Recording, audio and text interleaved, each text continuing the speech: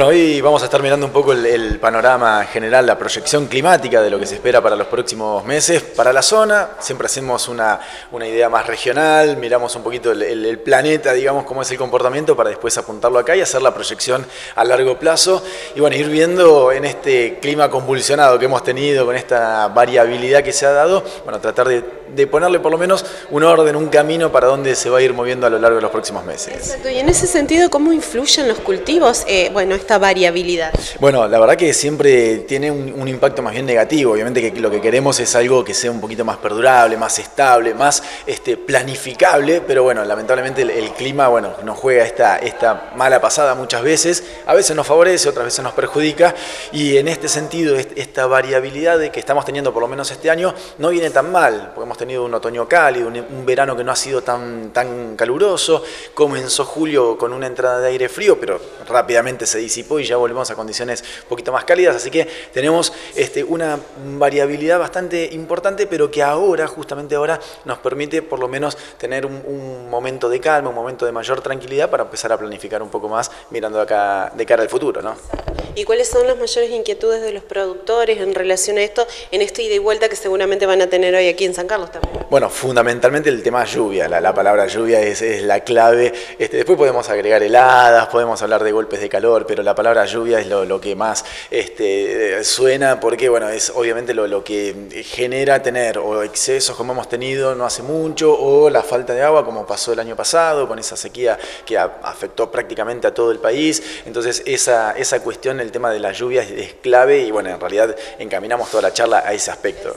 ¿Y en qué campañas que se está produciendo hoy por hoy? Bueno, hoy tenemos un evento El Niño, este, que es el, el que nos va a ir dando el camino, digamos, el marco a todo este proceso que vamos a estar teniendo a lo largo de los próximos meses.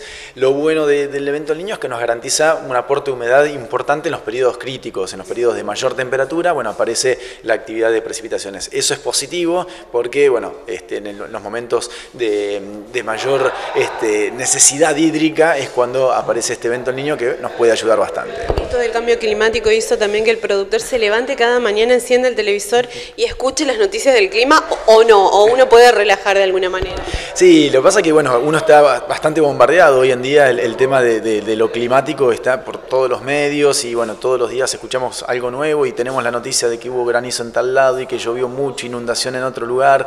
Este, a veces están lejanos, a veces es en el hemisferio norte incluso, pero bueno, toda esa este, condición climática que nos va llegando hace que uno siempre esté alerta, como un poco más estresado y bueno, y esté al tanto de lo que va ocurriendo. Además tenemos ahora la ventaja o la desventaja, dependiendo como lo quieran mirar, de, las aplicaciones telefónicas. Hoy todo el mundo tiene en, la aplicación, en el teléfono 3, 4, 5 aplicaciones de clima que le dice que va a llover, que no va a llover, que se van a hacer 10 milímetros, otro que dice 5, otro dice 50, y bueno, ahí también juega un papel bastante importante el tema de la incertidumbre y el nerviosismo que le genera al productor. Exacto. Bueno, para finalizar, dejando al productor un poco de lado, ¿cuáles son las expectativas a futuro en relación a este cambio eh, climático que nos preocupa a todos como humanidad, no? Sí, bueno, eso es ya es un aspecto más global, este, no, no solamente apuntado a un sector en particular, este, sino que es algo a nivel general como sociedad, como, como eh, entes gubernamentales, que eh, nos tenemos que plantear un, cambio en el sistema.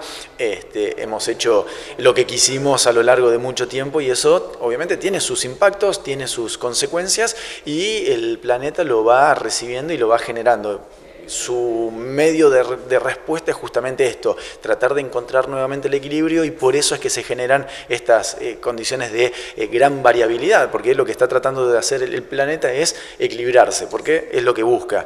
Entonces este, nos tenemos que replantear todo lo que hemos hecho hasta ahora y tratar de empezar a corregirlo para que esto no sea algo este, que sea determinante y que eh, en, el tiempo este, nos perjudique de manera total, sino que lo podamos llegar a acomodar y, que no sea algo tan que nos genere tanto trastorno. ¿Qué es lo más inmediato? ¿Qué es lo que ya deberíamos estar haciendo? Bueno, fundamentalmente la contaminación, la contaminación en todo sentido. Obviamente que lo, que más genera eh, estos procesos es el tema de los gases de efecto invernadero. Esa es la clave de toda esta situación. Lo que pasa es que gases de efecto invernadero tenemos un montón y en cualquier actividad humana aparecen, incluso también el animal. Eh, se ha hablado muchísimo de lo que es este, eh, la vaca con sus aportes en cuanto a la bosta, cuánto metano emana entonces, bueno, toda ese tipo de situaciones eh, es lo que hay que empezar a cambiar, disminuir, empezar a reducir las emisiones de, gases de efecto invernadero que son lo que más hacen fluctuar la temperatura.